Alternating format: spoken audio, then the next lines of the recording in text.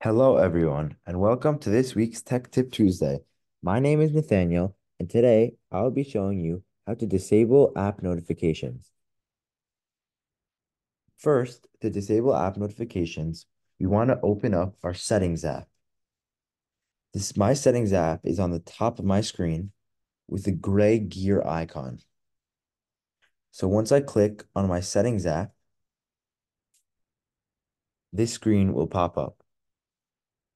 And what I want to do is tap on the gray search bar towards the top of the screen. Once I tap on the search bar, a keyboard will appear. And I want to type in notifications.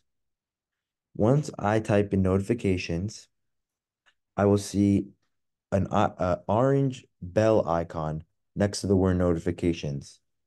And I will click on that and it will bring me to this screen. And then once I'm on this screen, I can scroll down and I see a list of all my apps.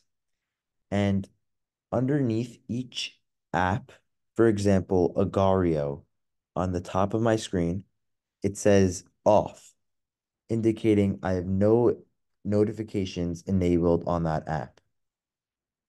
So once I want, I know which app I want to disable notifications on. I can scroll down till I see that app and click on it. For example, I will do FaceTime.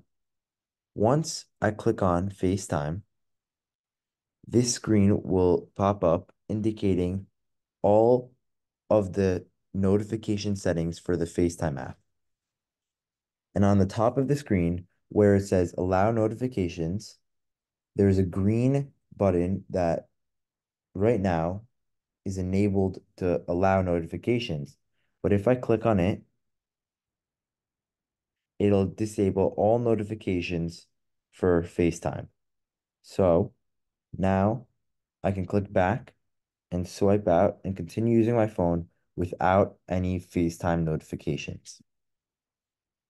That was this week's Tech Tip Tuesday on how to disable app notifications.